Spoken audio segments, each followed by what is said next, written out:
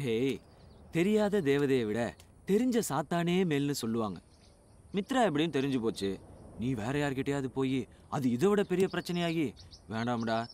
நீ என்ன பண்ற? சேஃப்டிக்கு கரத்தை கத்து வச்சுக்க. அவ அடிக்கும்போது தடுக்கிறதுக்கு வசதியா இருக்கும். ஆ நீங்கள் கொஞ்சம் ஒய்யாரத்தில் போய் உட்காந்துக்கங்கடா அங்கே உங்கள் பேர் மாதிரி பத்து பேர் தாக்கல் பண்ணியிருக்கானுங்க. நீ தேனி கேசவனா? அங்கே ஆணி கேசவன் மாணி கேசவன் வேணி கேசவன் முனி கேசவன். நீங்கள் பட்ட முருகனா அங்கே சொட்ட முருகன் நொட்ட முருகன் நெட்ட முருகன் கொட்ட முருகன். கொட்ட முருகனா? ஆமாண்டா. விதவிதமான பேரில் தாக்கல் பண்ணி கொலப்பத்தை உண்டு பண்ணுறானுங்க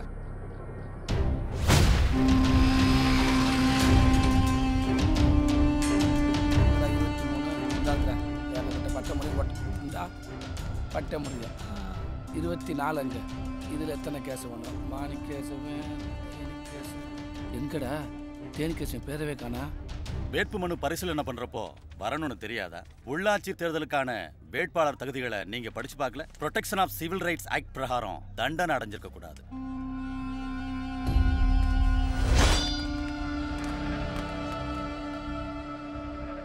சோ தேர்தல்ல ஆறு வருஷம் போட்டிடுறதுக்கான தகுதியற்றவராகிறீங்க. இது மட்டும் இல்லாம உங்க பேரை முன்மொழிஞ்சவரோட பேரு உங்களோட வார்டு வாக்காளர் பட்டியல்லையே இல்லை. சோ இந்த காரணங்களுக்காக உங்களோட வேட்புமனு நிராகரிக்கப்படுது. இவன் தான்டா எல்லாத்துக்கும் காரணம். தேனி நானும் எலெக்ஷன்ல நிக்கலடா. இந்த தடவை வேணாம்.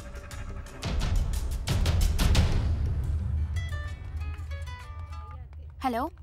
ஆ மித்ரா. நீ சொன்ன மாதிரியே யோசிச்சு பார்த்தேன். எலெக்ஷனில் நான் ஒன்றும் நிற்கல வாபஸ் வாங்கிட்டேன். இது வேற யாருக்காகவும் இல்லை. உனக்காக தான். Thanks darling thank you so much ஓகேப்பா. கேடி பில்லாங்கிறது சரியாதாண்டா இருக்கு? ஏய் எலெக்ஷனில் நீ நிற்கிற நம்ம ஜெயிக்கிறோம்.